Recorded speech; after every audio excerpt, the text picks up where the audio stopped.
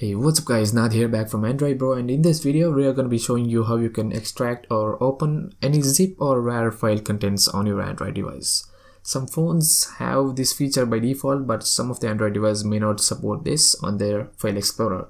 There are plenty of applications available on Play Store but we have chosen ES File Explorer here because it is very easy to use and have many more features. So I'm gonna assume you have ES File Explorer on your device and the zip file present in your device too.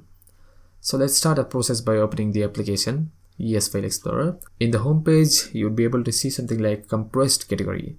Just open it and search for your file. If you're not able to find compressed category, just use your traditional way of locating your file, search for it and locate the file. After you locate your file, just long press on it. Then uh, you'll be able to see something like more option to the right bottom corner. Select that and select extract option. There you'll be able to see three categories where select uh, to the same path, select to some other paths. You can select whichever you want and press OK button and within a couple of seconds your work will be done. That's it guys. This is a very very quick tutorial. Hope it works for you. If yes leave a thumbs up.